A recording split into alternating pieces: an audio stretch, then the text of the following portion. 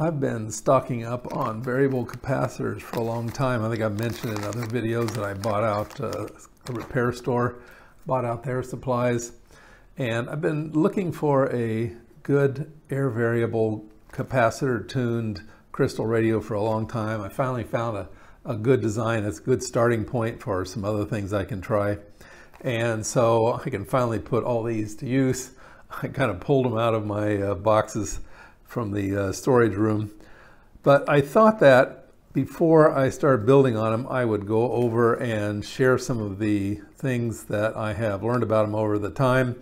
They have some different features. They're really not very difficult to work with, but there are some things you got to know about them or you can build a radio that won't work or won't work very well. Okay, so let's clear this out and we'll get one or two in here and we'll start showing the differences. We'll start with a simple one and move up to the more complex ones.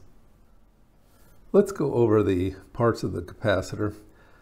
This is the shaft. They have at least three different types that I know of. This is a splined with a split in it, so it's pretty much round. I've got another one that's just straight up round, and you need some kind of a tensioning screw to, uh, to put a knob on that one.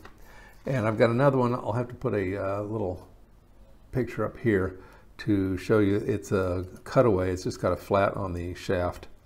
Um, let's see. So we have the shaft, it comes into here. Now you'll notice that the shaft is touching the body. So the shaft is actually part of the circuit. It comes in here and it touches the movable set of plates like this. So the shaft and the movable plates are one part of the circuit. They're half of the circuit. And in this case, the body has a tab where you would make a connection to it. So that's one side of the circuit.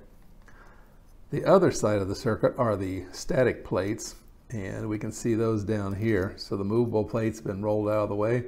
Static plates are here. And how you connect to the static plates are by these connectors right here. And they should be clear of the frame. I just found one today that, in fact, uh, this is the second one I've found where I had to cut away part of this contact because it was touching the frame and shorting out the capacitor. So those should be their own separate circuit. And on the other side, we have something kind of interesting. We have these two screws. Now, when I first saw these when I was a kid, I thought that the screws were there for mounting wires to. And in fact, no, if you look very closely, these are actually trimmer capacitors. There's a piece of mica, you can see it just right there at the end of the screwdriver, that's between two sheets of metal. So it's between this piece of metal right here and another piece of metal that has been tack welded to the frame right here. So you've got another capacitor because there's an insulator in between. And you can loosen and tighten these two screws to give yourself more or less capacitance. These are actually in parallel to the uh, capacitor. Now this is a double gang capacitor and that means there are two capacitors in one. You can see this split right here. Yeah, and you can also see that there's two separate connectors here and two separate connectors over here. Now, electrically, this one and this one over here are the same, and this one and this one are the same. So again, you have two capacitors here, and they're operating jointly so when one moves, the other moves. When one goes up in value, the other goes up in value. Um, what else is interesting about that? Oh, the trimmer capacitors operate individually also. So this trimmer capacitor is for this bank, and this trimmer capacitor is for this bank. Now, the um, there are single bank uh, capacitors, although I'm out of them right now. I used the last one in a radio a while back and it's they look just like this. Uh, I'll, let me put a picture up right here of one. And instead of having this gap, it's just all one capacitor. There'll be four uh, leads because they use these for mounting in the board, but they'll all be electrically connected. And then, of course, uh, the rotor plates are always, uh, the, the, movable plates are always connected together. Um, what else? Okay, there will be mounting holes and you can see I've got some screws in it but there's three one two three and these are typically threaded they're on the front Uh, the danger here is that, can you see that? Not very well. There's not very much clearance between that plate and the static plates of the capacitor or the moving plates either. And if you get screws that are too long and you drive them in there and it strikes the plate, you start bending stuff up and the capacitor is pretty much gone. Um, and what other features do we need to know? On the back side, there are holes. I've got some that are actually tapped, but typically the holes are here for this spring right there. And this spring holds tension on the uh, shaft. And that's important because if the shaft moves even a little tiny bit, you can see that there's very little clearance in between these plates and between the movable and the static plates. Very little clearance. And yeah, if this gets out of whack, then the plates will drag and the, and the capacitor shorted. There is an adjustment screw back here. Don't usually, I don't usually mess with it.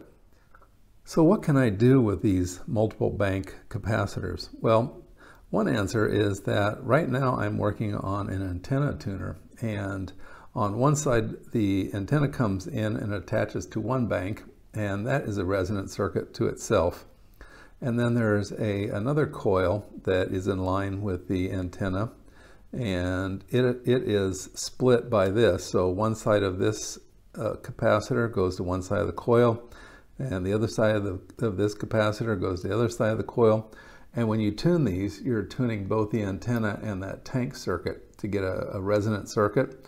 And yeah, that's one way to tune an antenna. So that's one way to use these. Another way is if you just need more capacitance, you can actually just wire these two things together and you'll it adds up the capacitance. So this is a 350 and a, what did I say earlier, 260. So yeah, you get a 5, 6, uh, whatever that works out to be, 610, uh, 610 picofarad capacitor by uh, wiring them together.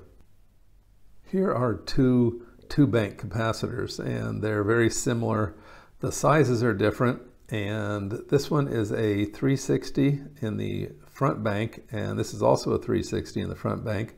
The back bank on this one I've measured at about 250 and the back bank on this one is 180. So we have some value differences. Let's uh, rotate them on around this way. We can see that the leads on this one go down and these are typically used to mount into the board. These go sideways, so a little different. On the bottom, this has holes, but they're not tapped. I guess they could be used for mounting and this one has no holes. Keep rolling on around and we have the standard the trimmer capacitors uh, individually for each bank. This one has a nice brace on it to hold the frame more stable, making it a little bit stronger.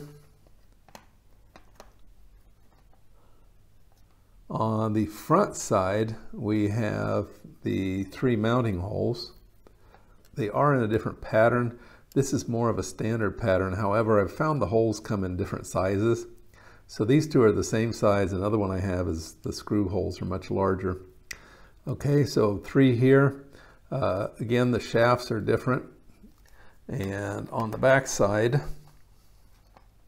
we can see let's refocus. There we go. On the back side, we can see this one does not have a uh, tab for the, uh, for the frame. It does have three tapped holes, which is nice. This has two holes, which are not tapped. And there's one thing I neglected to compare. Let's go back here, make sure we're in focus. There we go. Uh, the this spring tension tab is just mounted in there loosely and it is using this hole right here to keep it from rotating. This one is actually soldered in position so this would be the better way to do things. You won't get like spurious signals because uh, this thing could actually be acting as a capacitor if it's not well grounded. Okay, um, yeah, that's about it for these two. So let's look at some others and uh, see how they're different. This one is very unusual. It actually has a gear up here on the front. and that gear is split into two. So it's two gears laying one on top of the other with a little spring that puts tension between them.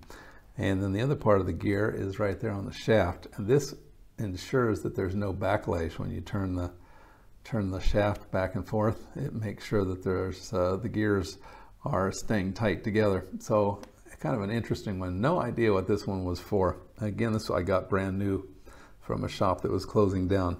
But this is a three bank and it has uh, on the bottom it has two trimmers for the back side, nothing for the front side, and that's pretty much it. Um, so it must have uh, gone into some very specific item that uh, is heretofore lost to time and history. This is a four bank capacitor and you can see it has the flat cut in the shaft like I mentioned earlier. The unusual part of this one is that the last bank, so there's one, two, three, and this last bank has been shielded, so kind of different. Also, it has three trimmer caps, and then the last one has none.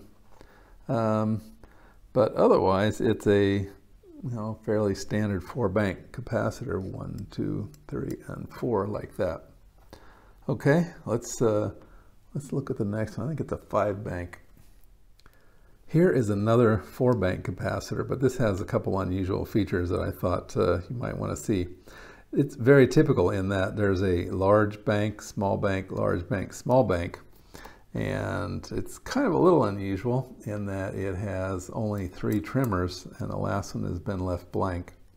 Uh, this also has a nice bracing bar right here, which is good. But the most unusual feature of this is this has a two-speed adjustment shaft. If I turn this one, you can see it moves rather slowly. But if I move this, it goes fast. So it has a coarse and fine adjustment. You can see the little knob, the hole in the little knob go flying past when I turn this.